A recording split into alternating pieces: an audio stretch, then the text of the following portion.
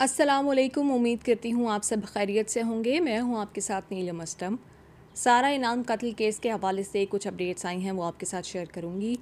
और कमेंट्स मैं लोगों के पढ़ती हूँ आपके कमेंट्स का भी कुछ जवाब देने की कोशिश करूँगी लेकिन वो इस वीडियो के एंड में। सबसे पहले आ, मैं बात करती हूँ दो ख़बरें हैं जिनको आज हमने इस वीडियो में कवर करना है। एक तो ये कि अब इसको एक क्लास से जेल के अस्पताल मुंतकिल कर दिया गया है। किस वजह से किया गया है ये? एंड सेकेंडली जो सारा का पासपोर्ट है, जो पुलिस अब तक रिकवर नहीं कर पाई, वो कहाँ है? उस हवाले से एक ब्रेकिंग न्यूज़ है, वो भी इसी वीडियो में शामिल करूँगी। सबसे पहले बात करते हैं हमने इसके ऊपर इसकी खबर देना शुरू की कि इसको वीआईपी ट्रीटमेंट मिल रहा है, कुछ और लोगों ने भी दी तो उसके बाद कुछ डिपार्टमेंट जो है वो एक्टिव हुआ है, और अब इसको अस्पताल शिफ्ट कर दिया गया है। अस्पताल भी हमें भी पता है और आप सब भी जानते हैं कि किसी भी छोटी मोटी बीमारी, सर दर्द नज़ला ज़ुकाम, उसका बहाना बनाकर इसको जेल के अस्पताल मुंतकिल कर दिया गया है। और अगर अभी हम इसको इतना भी इस इशू को कवर ना करें तो इसको कोई और भी बीमारी बनाकर इसको जेल के अस्पताल से डायरेक्टली पिम्स अस्पताल भी मुंतकिल किया जा सकता है।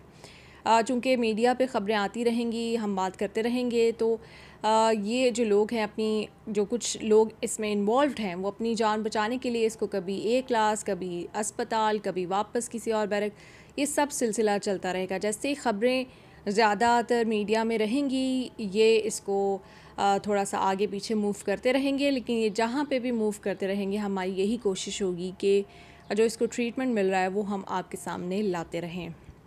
सपोर्ट मिल रही है इसको अभी तक अपनी फैमिली की, सपोर्ट मिल रही है इसको अभी तक अपने दोस्तों की। इस बात में कोई दो राय नहीं है अच्छा खाना, सब कुछ वहाँ पर इस तक पहुँचाया जा रहा है, इसकी केयर की जा रही है, इससे बात की जा रही है। वालिदा की भी बात हुई है, अयाज़ अमीर साहब भी आज वहाँ पर मिलने के लिए पहुँचे हैं। इस खबर की मैं अभी मज़ीद डिटेल्स जानने की कोशिश कर रही हूँ, जैसे ही डिटेल्स आएँगी आप तक पहुँचाऊँगी, लेकिन अयाज़ अमीर भी वहाँ पर इससे मिलने आए हैं। बाकी जो फैमिली के लोग हैं, वो भी मिलने आ रहे हैं, दोस्त भी मिलने आ रहे हैं। तो सबको इसका ख्याल है। आप लोग प्लीज़ एक कमेंट आया था कि आप लोग अयाज़ अमीर साहब को डी फेम ना किया करें। तो मैं आपसे यही कहना चाहूँगी कि हम एज सहाफ़ी, एज़ जो उनका सियासी करियर रहा उसमें एहतराम करते हैं। लेकिन यहाँ पर उनके बेटे ने जो काम किया है, जो गुनाह किया है वहाँ यहाँ पर हम उन, उनकी जो ख़बर देते हैं वो एक वालिद के तौर पर उनकी ख़बर को रिपोर्ट करते हैं जिसने कुछ ज़िम्मेदारियाँ नहीं निभाई और कुछ गलतियाँ हुई जिनका एतराफ़ वो ख़ुद भी कर चुके हैं जिसकी वजह से उनका बेटा जो है उसने एक मासूम जान ली। तो यहाँ पर आप प्लीज़ उनको उनके जो पॉलिटिकल करियर है और जो आ, उनका जो जर्नलिस्टिक करियर है आप लोग डेफ़िनेटली उनकी रिस्पेक्ट करते होंगे मैं भी उनकी रिस्पेक्ट करती हूँ। लेकिन उसको अलग रख के सिर्फ़ इस केस तक जो उनका किरदार है, उस पर बात होती रहेगी बार बार होगी। और मैं उसके लिए पेश की आपसे माजरत चाहती हूँ, अगर किसी की दिल आज़ारी इस वजह से होती है, लेकिन वी कांट हेल्प इट क्योंकि ये बात तो होगी। सेकेंडली मैं अब आपको बताती हूँ कि पासपोर्ट जो है, वो पुलिस रिकवर नहीं कर पाई, जिसकी वजह से इसका एक से, कई बार इसका जिस्मानी रिमांड लिया गया और पुलिस अब तक पासपोर्ट रिकवर नहीं कर पाई। तो पासपोर्ट के हवाले से ख़बर ये आ रही है कि इसने पासपोर्ट डिस्ट्रॉय करने की कोशिश की थी, पहले उसको काटा, उसके बाद इसने कमोड में फेंक दिया और इसने फ़्लश आउट किया। अब पुलिस जो है, पुलिस के लिए बहुत आसान है कि इस खबर की तह तक पहुँच जाए, क्योंकि मुख्तलिफ़ ज़राए से ख़बर आई है तो यकीनन कहीं शेयर हुई है, कहीं हुई है, किसी ने देखा है, किसी को कुछ पता है तो ही ये बात सामने आई है तो ही ये बात मैं आप तक पहुँचा रही हूँ।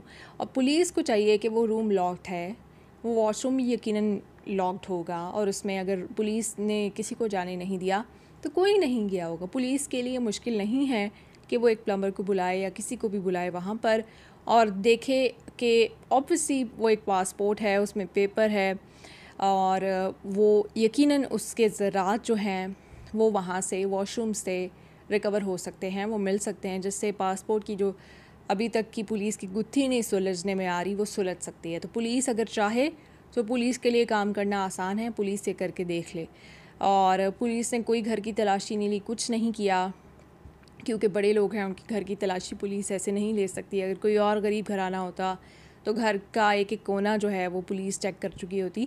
लेकिन इस घर का अभी हुआ है लेकिन बहुत ऊपर सुपरफिशल सी इसकी तलाशी ली गई है।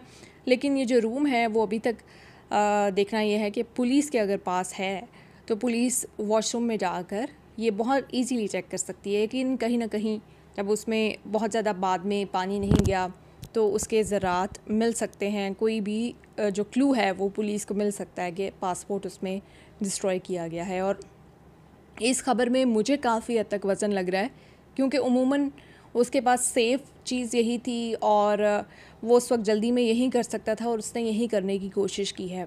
वो इतना जहनी तोज़ुन खोया हुआ था, फिर अयाज़ अमीर साहब की बात आएगी, या तो आप लोग कहेंगे कि ये क्या है। अयाज़ अमीर साहब जो कहानियाँ उसके बारे में बता रहे थे, एक तरफ़ वो कह रहे हैं कि वो अपनी सेंसेस में नहीं था, दूसरी तरफ़ उसको ये पता था कि किसी लड़की का पासपोर्ट कैसे डिस्ट्रॉय करना है।